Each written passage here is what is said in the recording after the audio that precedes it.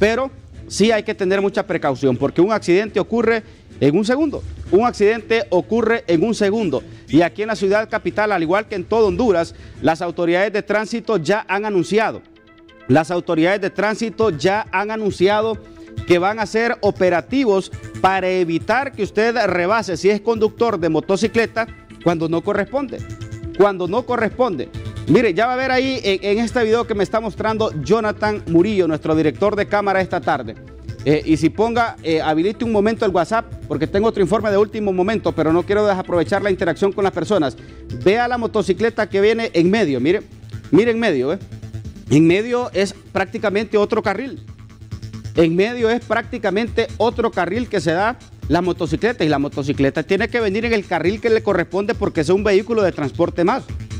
Pero a veces hay conductores de motocicleta que son bien imprudentes que son bien imprudentes. Mire, ahí, ahí usted está viendo. Ahí está usted viendo, es prácticamente tres carriles. Y la carretera solo es para dos carriles. Solo es para dos carriles, dos carriles. Y ahí usted puede ver, mire, así como viene él es correcto, mire. Así como viene esta persona en esta motocicleta es correcto. Así como viene él, se viene metiendo, viene rebasando. Yo creo que hasta ahí todavía está un poco correcto. Aquí, viene, aquí estamos viendo en la zona al, sur, mire, ahí este es el carril, porque aquí solo hay dos carriles, uno de ida y uno de regreso, aquí en la zona sur. Estas tomas son del viernes de la mañana, pero ahí usted está viendo, ahí está viendo, y allá viene uno por en medio. Mire, mire la imprudencia de este, ¿ve?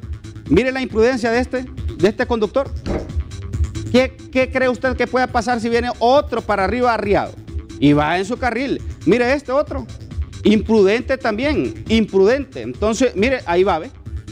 La imprudencia de los conductores de las, de, las motocicletas a veces es también lo que produce o provoca mucho accidente. Y ahí hay un policía, mire, por ejemplo, él va correcto, pero porque está un policía ahí, pues.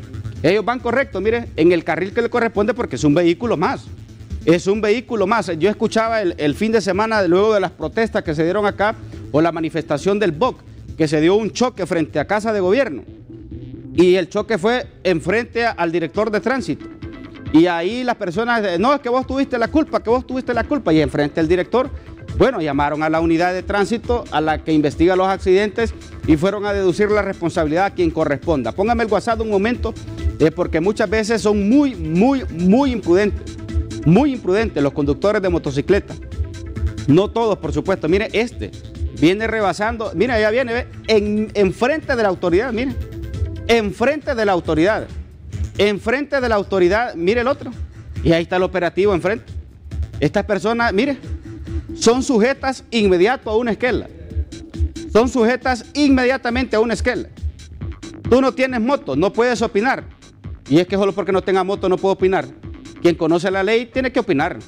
Si usted es conductor de moto y anda infringiendo la ley, es, rollo suyo.